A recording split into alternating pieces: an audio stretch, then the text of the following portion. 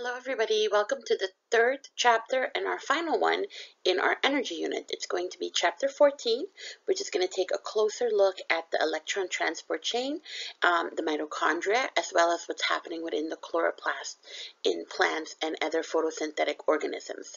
This chapter is entitled Energy Generation in Mitochondria and Chloroplast. Without further ado, let's go ahead and take a look at what the content is going to be about. Three main items to discuss in this chapter. Um, the first one is a continuation of the mitochondria and the oxidative phosphorylation. The oxidative phosphorylation, remember, occurs during the electron transport um, chain, so we're going to explore that a little bit more, which obviously is located within the inner mitochondrial membrane, as we've discussed in chapter 13. The second topic is going to take a look at the actual mechanism of the electron transport. So what are the steps that are involved and how does that include things like proton pumping, the role that ATP synthase will play in it, and adjustment of pH and alteration of the charges inside and outside of the mitochondria. So we're going to take a look at it more on a step-by-step -step basis. Very similar to how we broke down the steps for glycolysis and the Krebs cycle in uh, chapter 13. And then last but not least, and this will be in part two of our lecture for chapter 14, we're going to take a look at the chloroplast and how the structure of the organelle is perfect for the utilization of photosynthesis, which is of course the process that autotrophs such as plants will utilize to extract energy from the sunlight and be able to create, or I should say generate, their own food in the uh, form of glucose molecules. Now, one of the things that we discussed in chapter 13 was the fact that when you take a look at ATP production, there are basically two main mechanisms that can be utilized.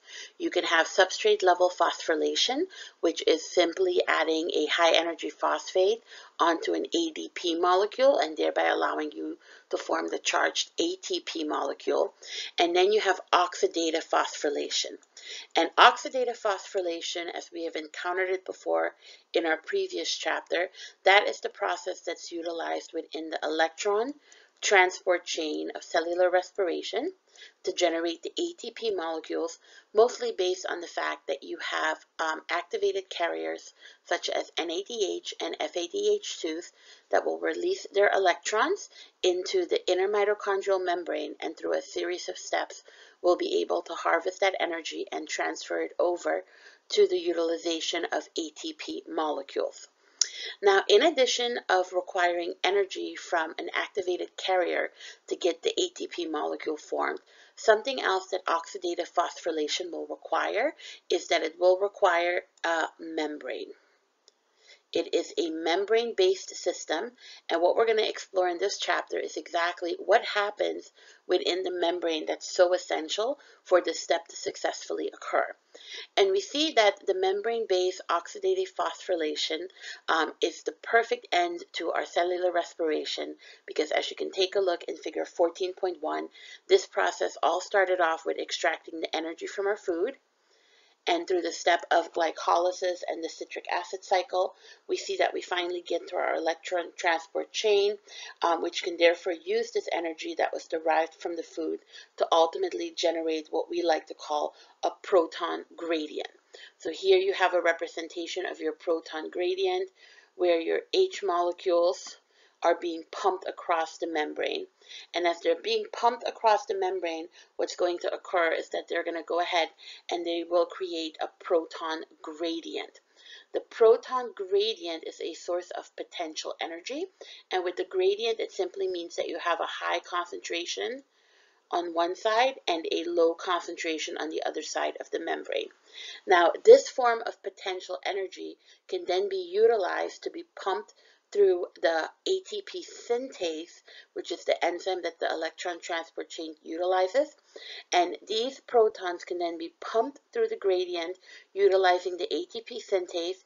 And as the end result, we see the formation of our ATP molecule. Now, if we were just looking at two-thirds of this drawing right over here, then we would be perfectly fine in just including the mitochondria.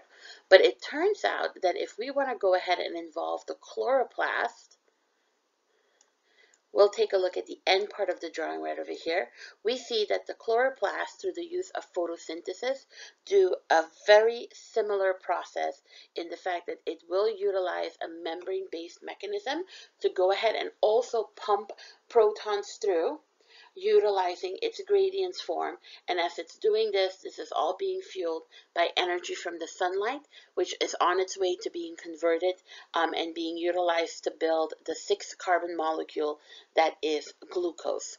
So your mitochondria and your chlor and well, you don't have any chloroplasts, but the mitochondria and the chloroplast organelles will have a lot in common, especially in their methods of using utilizing energy from proton transfers um, and requiring the use of a membrane-based system. So what we're going to do is we're going to go ahead and explore that in this chapter a little bit further. All right, now when we take a look at the formation of ATP within the electron transport chain, and keep in mind that your book likes to call the electron transport chain, it likes to just call it um, the oxidative phosphorylation. So if you see it's mentioned that way, it's the same process. We're taking a look at the end part of cellular respiration. What we see happening is that within that particular step, this is where the most amount of ATP is going to be generated. And the whole process is basically two stages that need to be completed. The first stage is that you have your input of your NADH and FADH activated carriers, which need to come into the inner mitochondrial membrane and they need to drop off their high energy electrons. And as they're dropping off their high energy electrons, what we're seeing is that they're going to start fueling a proton pump, and that is going to allow the protons to flow into the inner mitochondrial membrane. And as they're doing so, it's going to create a gradient. So over here it says you have a proton electrochemical gradient, meaning that you have an area of a high concentration and a low concentration.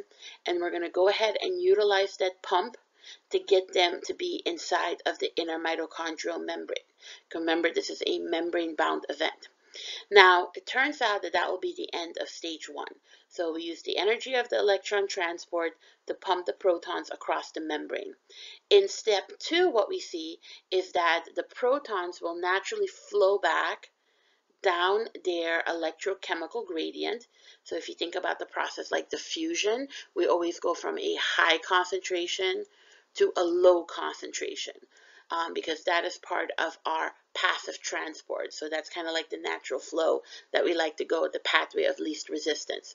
So utilizing their flow, their, in, their ability to flow back down their electrochemical gradient, so from high to low, what we see happening is we're going to couple that through the use of a protein pump, but in this case, it's a protein enzyme that is ATP synthase.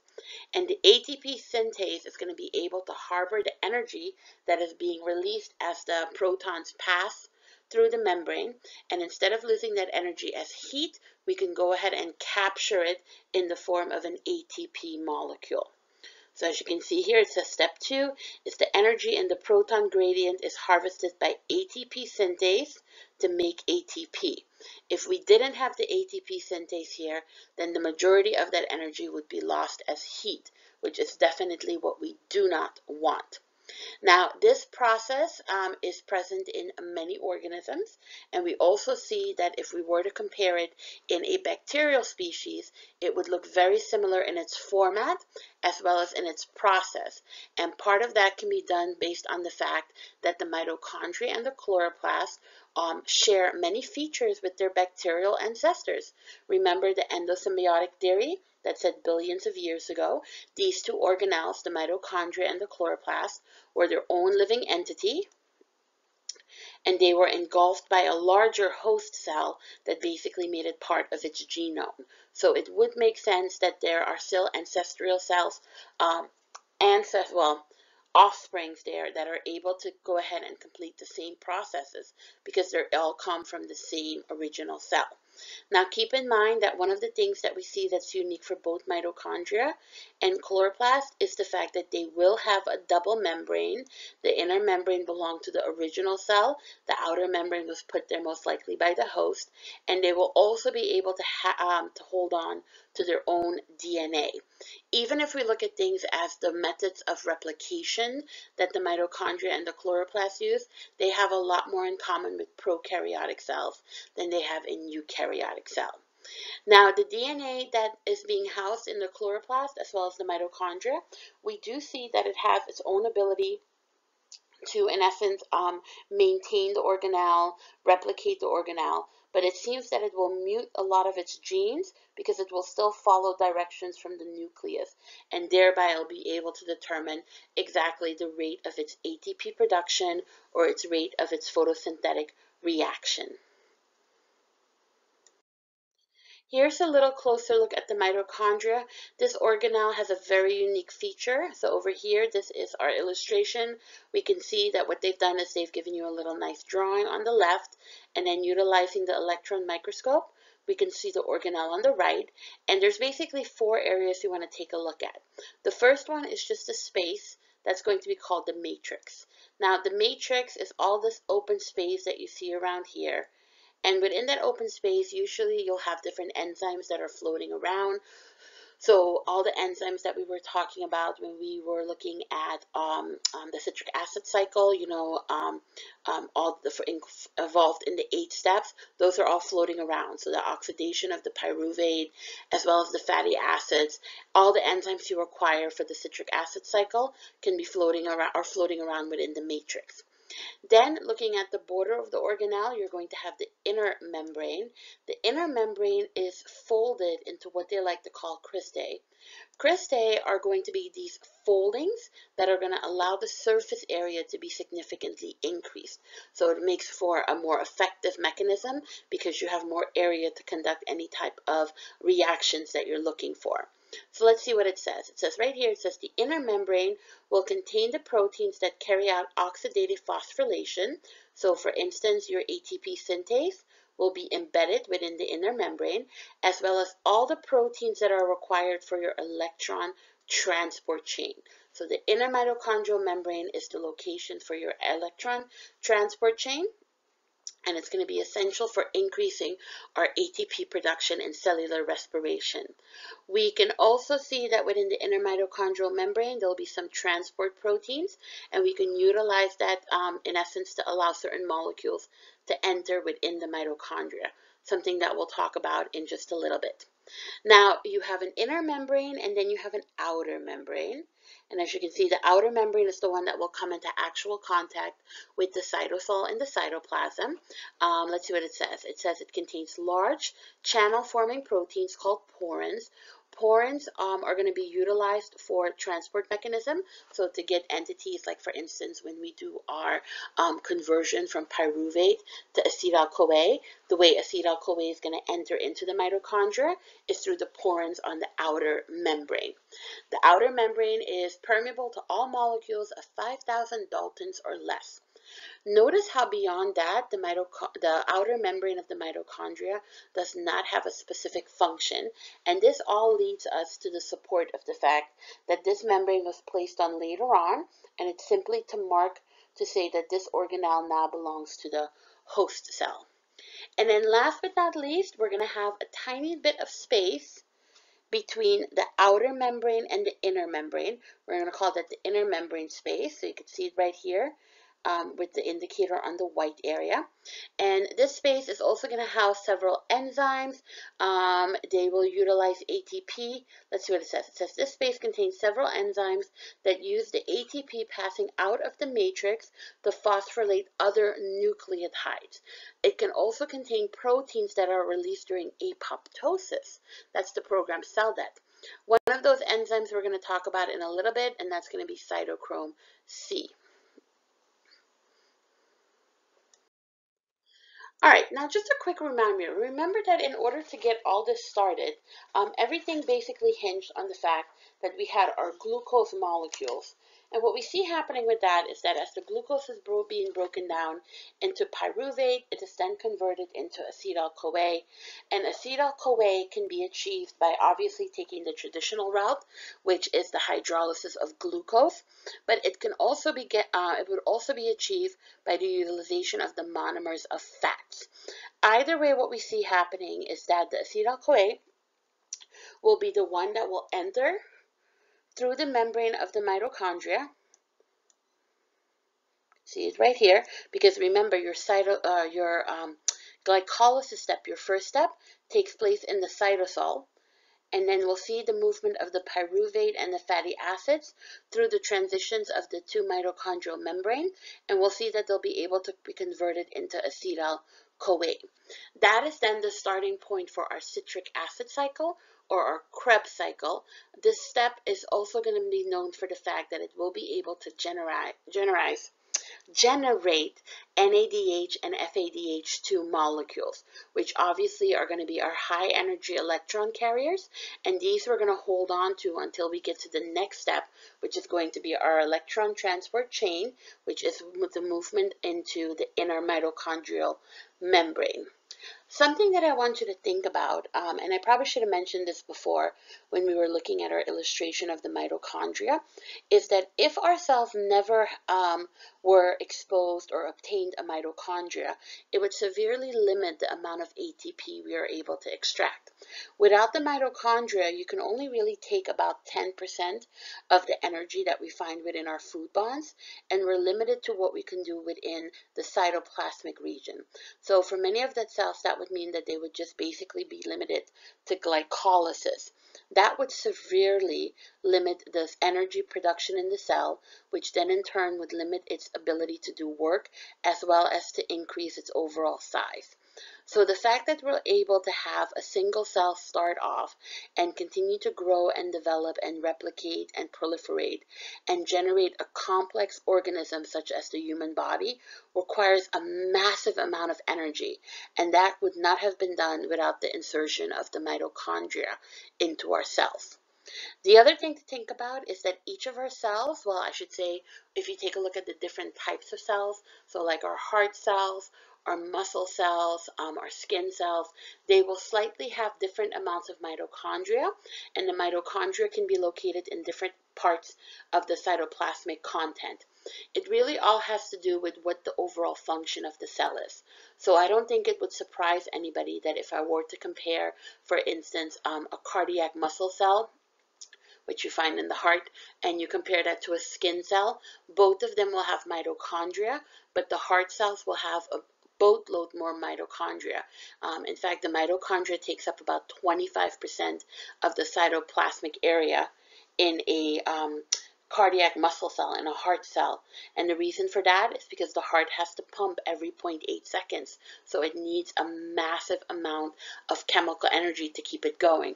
We can't have our heart get fatigued because that could be detrimental for our health and our overall li uh, livelihood. Um, the other thing that we do see is that you are able to alter the amount of mitochondria that you have in your individual cells. So for instance, um, someone who is very athletic, um, has nicely conditioned, we see that on average their cells, especially their muscle cells, will have a higher amount of mitochondria than someone who doesn't really exercise, um, is maybe a little bit lethargic. It really will all depend on what your overall ATP demands are for the body based on things like your size, your age, your health, and obviously also your overall activities. There have also been certain diseases that have been seen um, if there is a mutation within the mitochondria.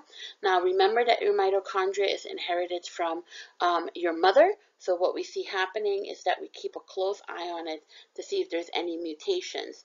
And if there are mutations, what are some of the ways that we can treat it?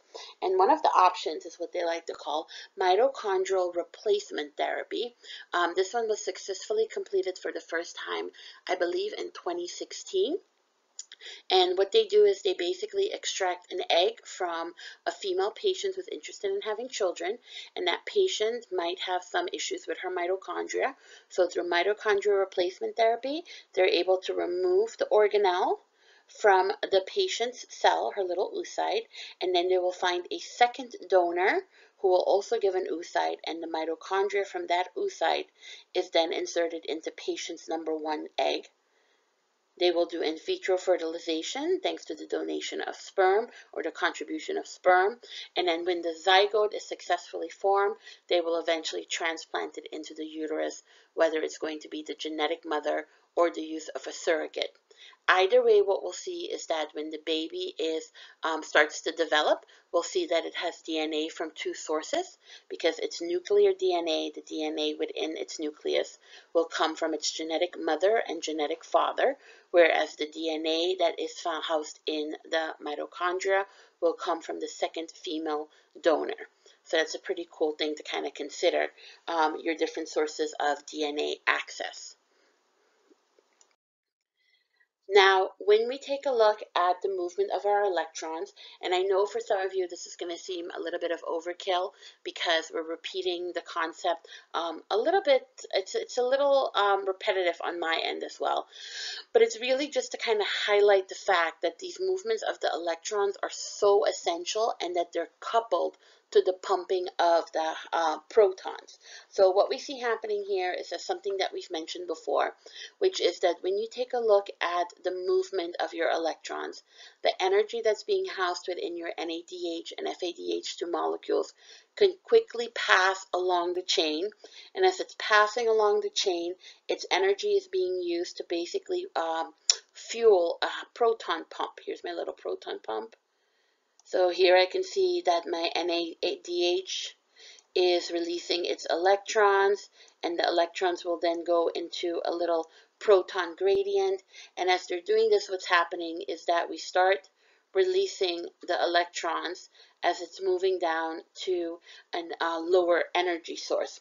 And this can happen quickly and also very effectively because remember it turns out that when you do aerobic respiration, our final electron acceptor is going to be oxygen and that is going to maximize the amount of ATP that we're able to produce at the end of all of this because what we see happening and you can further see it happening here within the mitochondrial illustration is that we are utilizing the FADH and the NADHs that we were able to generate within the citric acid slash Krebs cycle. We're basically using that energy to go ahead and produce ATP at the end of the electron transport chain. So they really are a coupled reaction and keep in mind that as it's being passed down, the electrons are being passed down, they are creating a proton gradient and that proton gradient is one of the reasons why we can utilize the ATP synthase, which will allow us to transfer the energy from your protons as it's gliding down the concentration gradient to harvest that energy into our ATP molecules, thereby completing our step of oxidative phosphorylation. Okay, so let's just do it. It says right here, it says the movement of electrons is coupled to the pumping of protons. Yes, because that's going to help us create the gradient. NADH and FADH will donate electrons to the electron transport chain.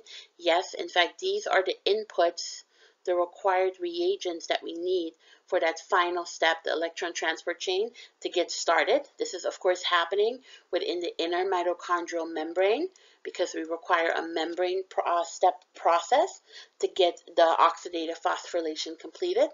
Um, because we're doing aerobic respiration, oxygen is going to be our final electron acceptor. That is also one of the reasons why we're able to generate H2O as a waste product of our aerobic respiration. And as you can see right here, the pumping of the protons across the membrane will be one of the ways that we can fuel the activation of the ATP molecules at the end of doing our cellular respiration. So here, for instance, is an example of how we are doing a coupling process where you basically have the conversion of energy from your electrons in your activated carriers of your NADH and FADH2, and we're basically converting that over to the um, activation of your phosphate added to your ADP molecules. Um, let's see what's happening. Now, the mitochondria is going to be extremely important in this step because it's going to catalyze this reaction. So it's going to allow us to lower the activation energy and get it done um, at a faster rate. It's also going to increase our efficiency to produce our ATP molecules. And if we take a look at the picture, we can see right here something that um, I've been stating on previous slide as well as in previous chapters now is that the energy in our activated carrier NADH is going to get released and as it gets released That energy is then converted or utilized for the oxidative phosphorylation and the ultimate formation of your ATP molecule. Now, please keep in mind that as the NADH goes in and relieves its uh, high energy electron, what's left behind is going to be your uncharged NAD and your water molecule as a waste product. And on the other hand, the way the reason we're able to generate ATP is not only because we are able to convert the energy from NADH, and not only because we're utilizing an inner membrane, but also because we are requiring our uncharged molecule, which is our ADP, to go ahead and bind to a phosphate molecule. And by binding with that third one, we're able to generate a lot of chemical energy in the form of our quote unquote charged molecule ATP.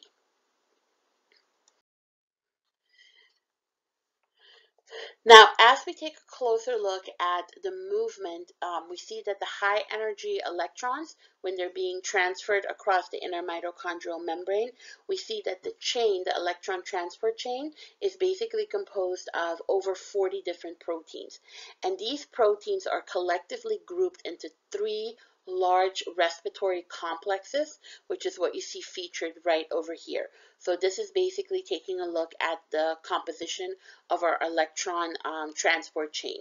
Now, these um, respiratory complexes, in order from beginning to start, are going to be our NADH dehydrogenase complex, so that'll be the first one that will be able to accept the electrons from your NADH and your FADH2.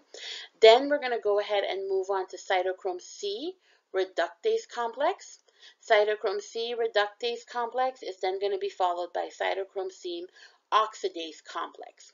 The cytochrome C oxidase complex will be the last respiratory complex that the electrons will come across to.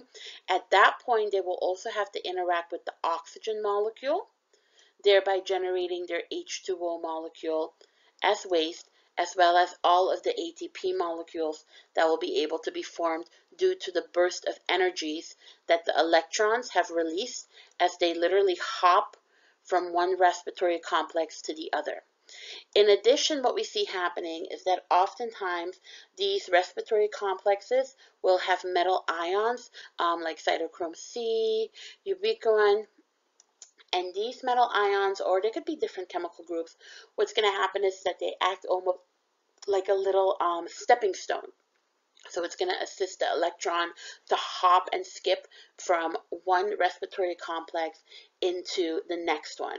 And this entire step of moving from um, NADH dehydrogenase complex the cytochrome C reductase complex, the cytochrome C oxidase complex. This is a very energy favorable movement because what's happening is as the electrons are moving from beginning to end, it's basically lowering its overall energy state.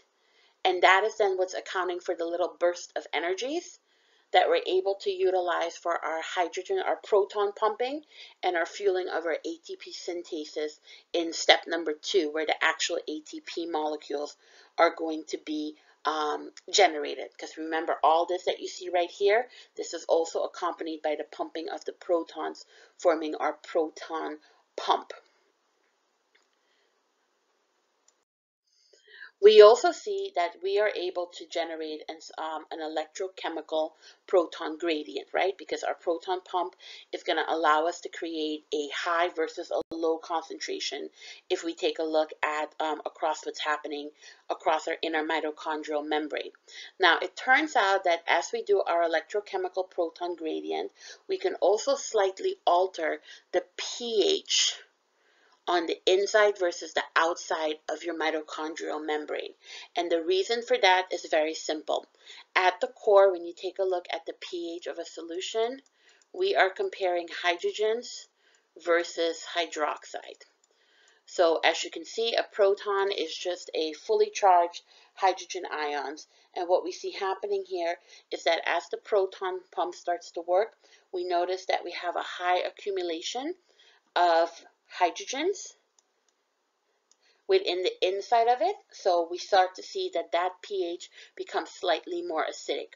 In fact, take a look right here on your right hand side of your diagram and notice that they wrote for you that the pH is 7.2 on the in the inner membrane space, so the inside of the inner mitochondrial membrane, whereas on the outside, which would be the little matrix, it has a pH of 7.9. And that's due to the fact that it has slightly less hydrogens on that side. So it drives the pH um, to be altered. The other thing that we see is that because the hydrogens have a charge, they are able to generate um, what we like to call the electrical gradient, right? That's the electro part of electrochemical gradient. That means that they're going to go ahead and they'll be able to generate a charge across the membrane. And the proton motifs that we could see right over here, it says the electrochemical hydrogen gradients across the inner mitochondrial membrane includes a large force due to the membrane potential and a small force due to the proton concentration gradient. And that is then where the pH, the change of pH, is being utilized. Now, collectively, we see right here in pink, we see the formation of more of a positive charged environment on the inside and more of a negative charge environment on the outside. And that is going to allow us to create a membrane potential. So it's going to create um, a quote unquote charge, very similar to a battery, that you'll have a positive end and a negative end. And collectively, what we can see is that we can go ahead and take the membrane potential and we can also take the change in pH and we will combine that together to create what we like to call the proton motive force. So your membrane potential and your ch uh, change in pH will contribute to your proton motive force. And this will in essence allow us to pull the hydrogens across the membrane. And that then is our contribution or what contributes in essence to the ability to generate our ATP molecules at the end. So our electrochemical hydrogen gradient the fact that we can get those hydrogens to move is a combination or is the result of a combination of a change in membrane potential because they do carry a charge as well as a change in pH. And that obviously has to do with the fact that you start to imbalance the amount of hydrogens versus hydroxide ions. And this is all collectively pulled into what we like to call the proton motive force. All right, here we go. Proton motive force. Beautiful. Now we keep talking about this ATP synthase, right? And I've mentioned to you before in chapter 13, this is what we like to call um, a universal enzyme because every single cell that has it, the enzyme looks exactly the same and it functions the same. And the ATP synthase is basically the final enzyme we encounter on our way of harvesting our ATP molecules. And by now, hopefully, you have come to terms with the fact that it's driven by two steps, right? Well, it's the second step of the process. The first step was the removal of the high energy electrons from your NADH and FADH2 and utilizing that for our proton pump. And now we're harvesting that energy and we're going to go ahead and get our protons due to their electrochemical gradient to move down the gradient and use that potential energy to harvest or to utilize the use of your ATP synthase so the energy can be converted into ATP molecules. Now, something that's very interesting to point out about the ATP synthase is that it actually can have um, a reverse coupling effect. So go ahead and take a look at your picture and you can see that on the left hand side under A, you have your ATP synthesis, which is what we've been talking about thus far as to how it functions. So you have your protons that funnel through, and as they funnel through, we're basically taking their energy and we're converting it into an ATP molecule. So there's our oxidative phosphorylation. Well, it turns out that because our body has such an extensive um, need for ATP molecules, and it always has a high ratio of ADP molecules around, it carefully monitors that ratio, and it will also carefully monitor um, the amount of energy that's being generated from the glycolysis, the citric acid, and the step one or the stage one of your electron transport chain. And if we see that the change is that there's a change in the free energy that's being generated, um, the ATP synthase can actually reverse its course.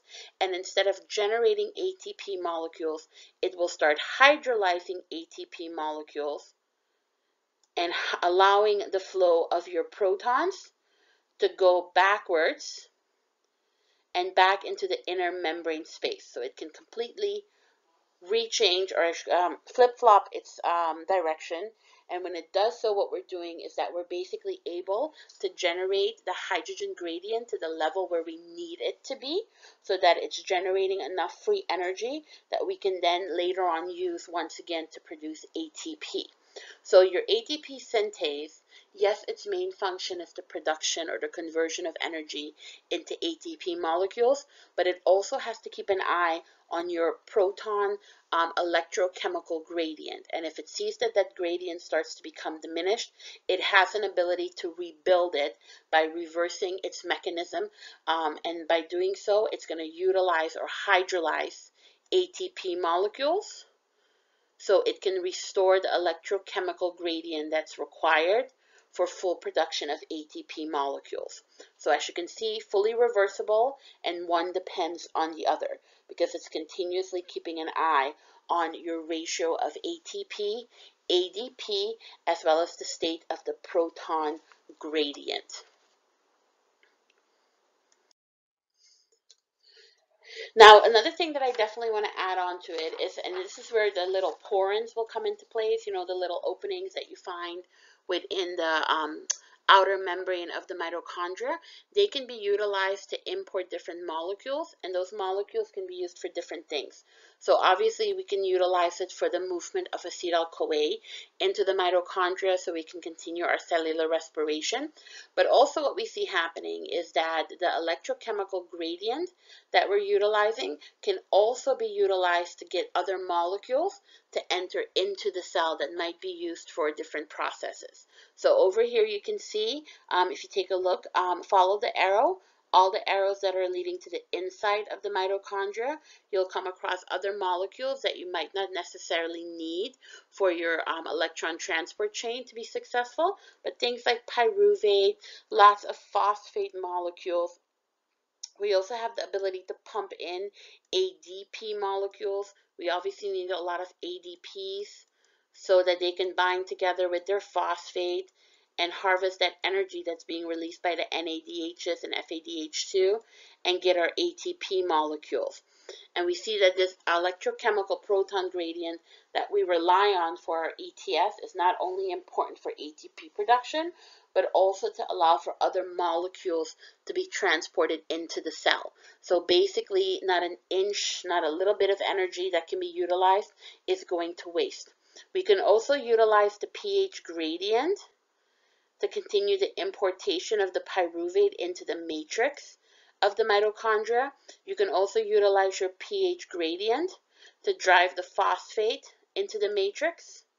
And then over here on top, we see that we can rely on that voltage gradient, you know, the fact that it has a positive um, charge more in its intermembrane space and a negative within the matrix. It can utilize that for the movement of the ADP molecule into the matrix and an ATP molecule out of the matrix.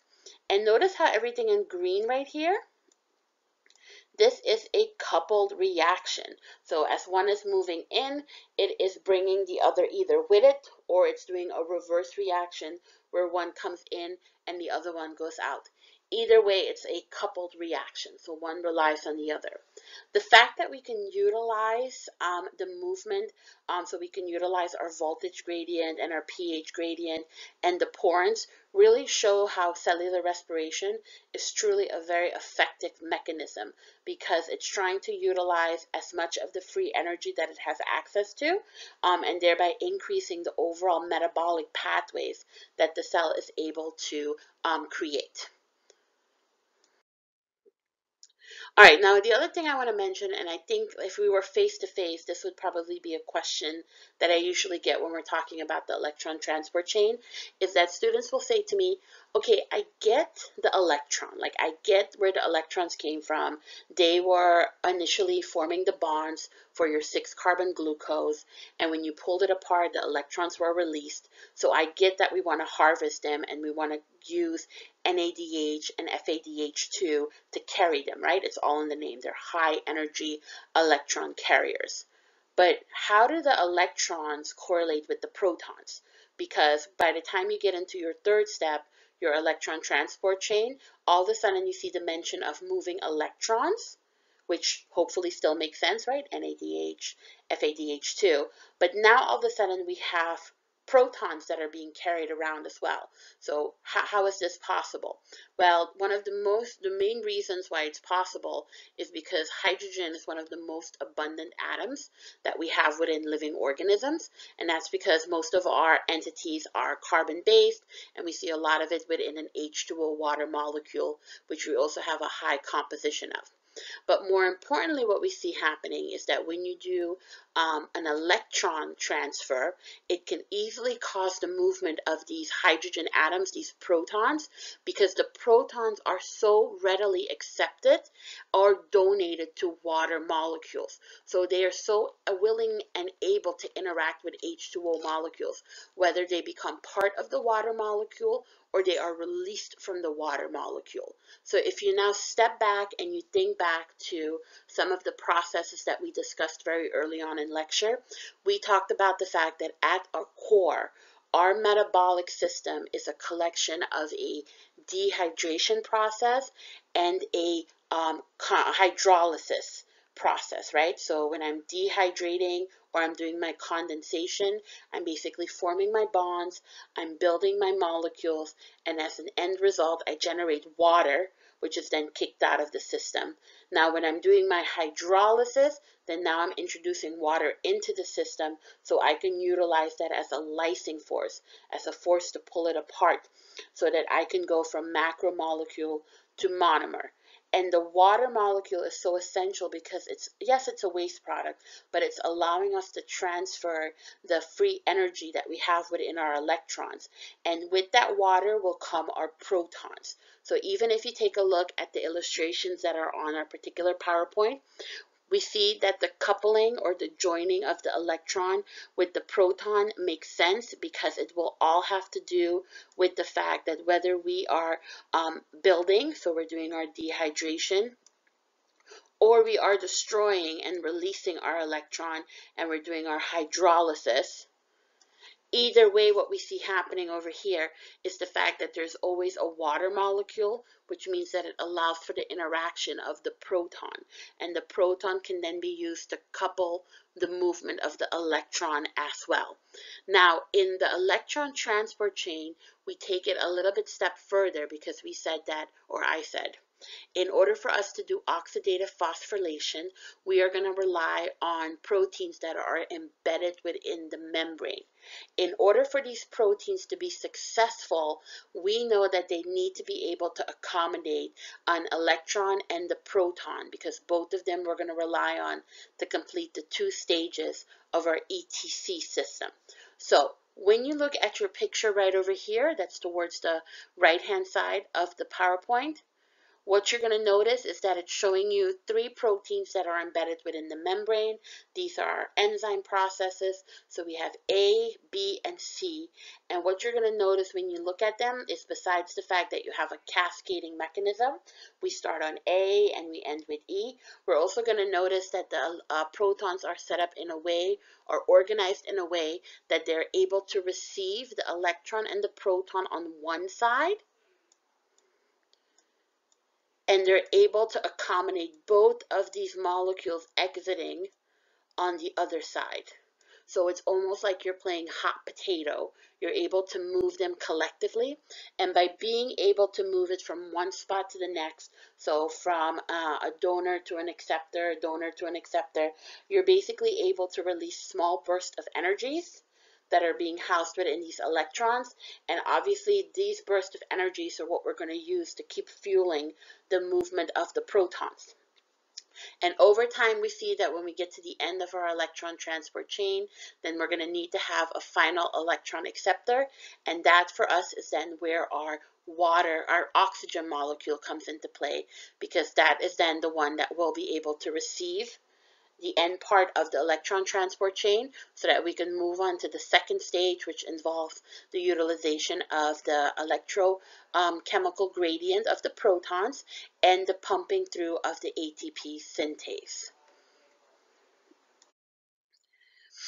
One other thing that we see, and this takes us also back to one of our previous discussion, is that remember that when you utilize the motion of the electrons, um, we've been discussing it a lot in the fact that it's able to house energy, but also keep in mind that you have your oxidation reduction reaction that comes into play. So this is why it's so essential that when you take a look at your activated carriers, that we have what we call redox pairs. We want to have one that's going to be a strong donor and the other one that's going to be a weak donor and a strong acceptor. And that, of course, is where you have your quote unquote charged molecule versus your uncharged molecule.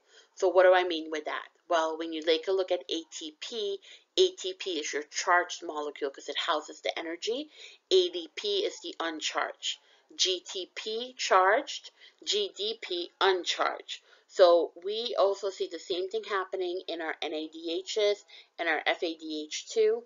We see, for instance, and this is what's dedicated on the slide right here, we see that the NADH, that's going to be our charged molecule, that's the one that's going to be the strong electron donor. It's able to hold on to the high energy electron, but it's also able to quickly give it away.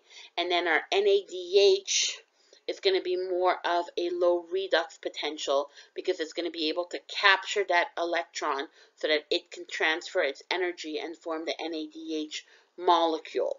Because at the core, we see that the electrons move from the pair with a low redox potential to a pair with high redox potential.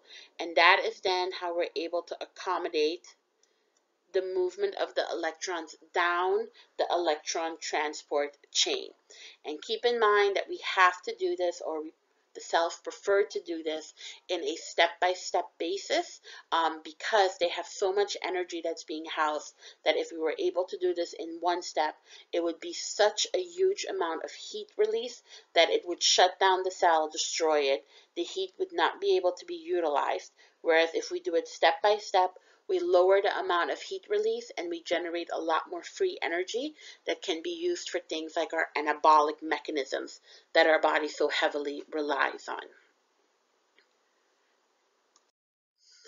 Um, another thing that I wanted to mention, and I said this to you before, is that when we take a look at our three respiratory groupings that we were talking about previously trying to find which slide that was. Um, when we're taking a look at our respiratory enzyme complexes, our NADH dehydrogenase complex, cytochrome C reductase complex, and cytochrome C oxidase complex, remember that I mentioned to you before that each of them is going to maintain or is going to have, is going to obtain a metal ion or another chemical group that's going to allow for your electrons to kind of skip from one step to the next. So this particular slide just kind of takes a look at those particular metal ions and reminds you that we have the ubiquitin and the quinone in photosynthesis, which we're going to talk a little bit more about. And it's going to increase the effectiveness of the electrons moving down the chain. We will also have the utilization of the cytochrome C protein, which I'm very interested in. I'm going to tell you more about that in our next slide. But either way, it will just increase the effectiveness of the electrons being transferred in the electron transport chain.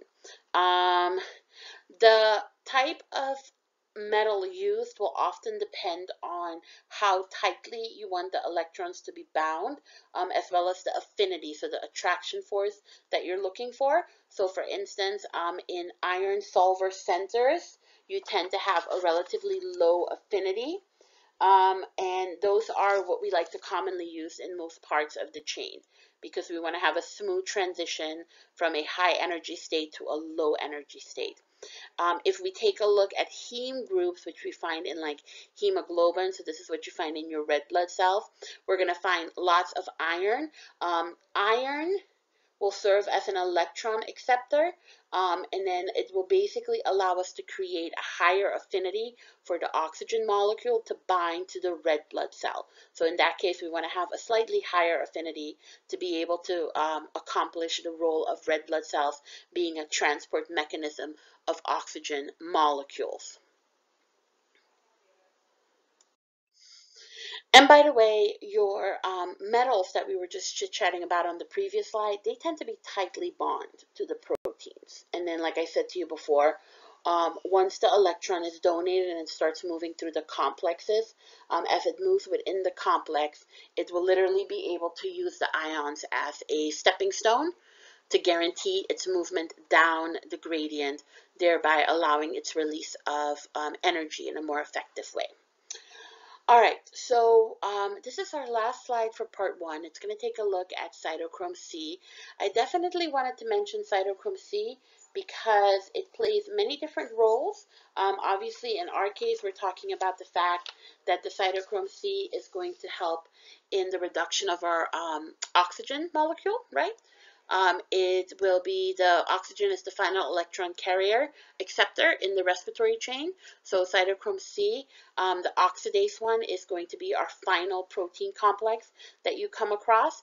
And its goal is to basically hold on to the oxygen molecule and allow it to release its electrons so that it can eventually be converted into water. So here's the little formula for that. You can see the conversion, the removal of the electrons with the protons, mix that with our final electron acceptor, uh, O2, oxygen, and they're allowing for the water molecules to form. Um, something that I wanted to point out about this is that um, within the cytochrome C oxidase, we see that it has a heme group and it has a copper atom and those will collectively form the site where oxygen is actually being tightly bounded to. Um, and that is where it's kind of waiting for it to receive the four electrons so it can uh, go ahead and produce the H2O molecules. The reason this is so important to point out is because receiving those four electrons is essential. If you only receive two of the electrons, then what we see is that the O2 molecule is actually converted into what we call a free radical, and the free radical can cause a lot of damage, including DNA damage within the cell. Now, part of what the cytochrome C has to monitor is to make sure that there are no free radicals being generated. If it does see that it has a high amount of free radicals um, that start to float around, it increases the chance of a mutation to occur. So in that case, the cytochrome C will actually induce apoptosis, which is that programmed cell death.